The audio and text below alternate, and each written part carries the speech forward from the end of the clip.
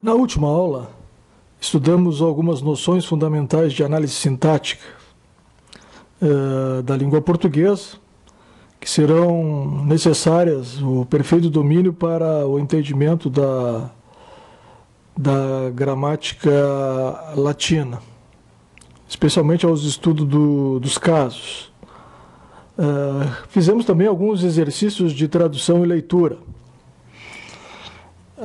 Agora, Nesta aula, iremos estudar a, a ordem das palavras na frase latina. Vamos então ao nosso conteúdo desta aula. É, a parte final das palavras latinas é importantíssima. Quando, fa, quando, quando realizamos a interpretação do significado da, das frases. Então, Repetindo, a parte final das palavras latinas é importantíssima. Dito isto, acrescentemos que sempre que formos traduzir uma frase, devemos olhar as últimas letras da palavra.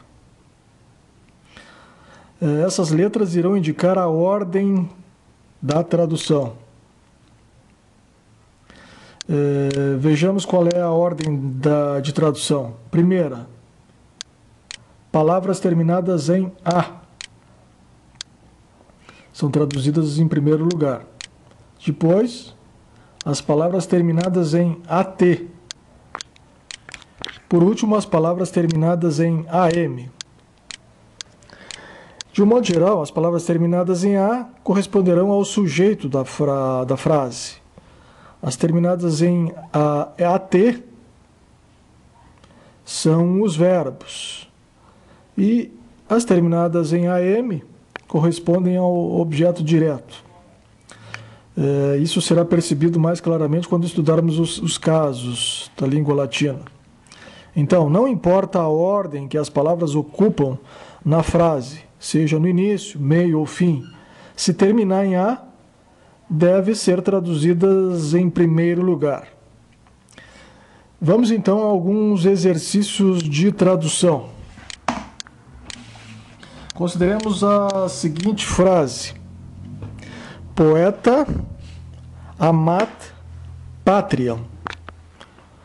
Temos a palavra poeta terminada em a, amat, que é ama uh, no meio, e patriam pátria terminada em AM.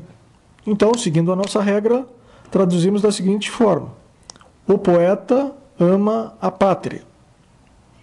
Depois temos a seguinte frase: Filiam amat poeta.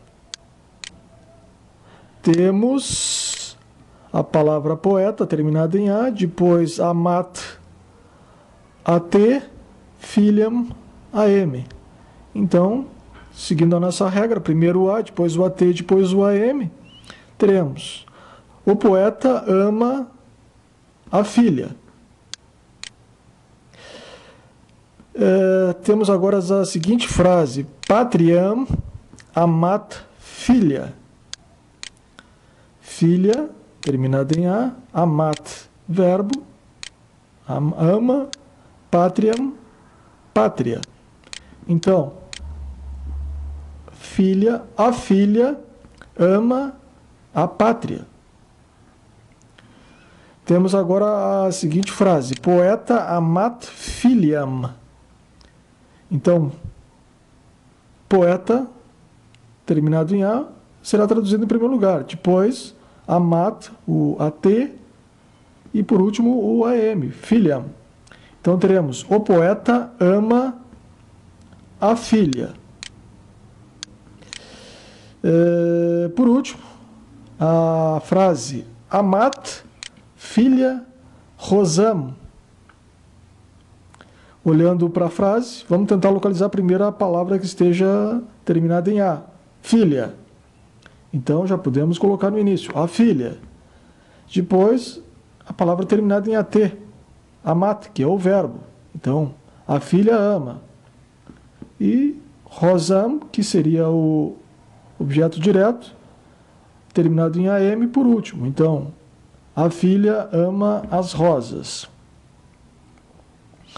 É importante fixar bem é, essas, essa regra, porque no estudo dos casos, que passaremos a estudar na próxima aula, elas são de fundamental importância.